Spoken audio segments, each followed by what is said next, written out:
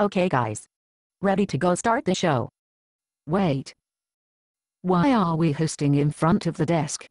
Yeah, about that. My package is a little sore today. You're disgusting. In three, two, one.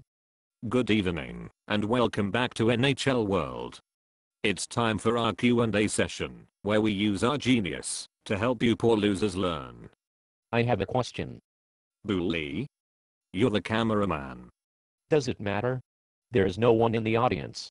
We haven't had anyone at a taping since the last time you talked about your package. Oh, come on. That was about the cake my Aunt Sally made for me. Whatever.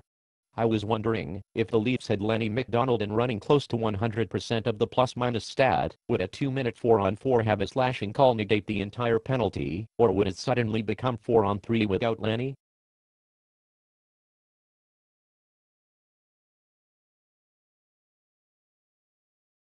What the hell are you talking about? Booley, I told you to stop smoking rocks before work. Dude, I'm Lanny McDonald and even I don't know what the sweet flying crap you're talking about.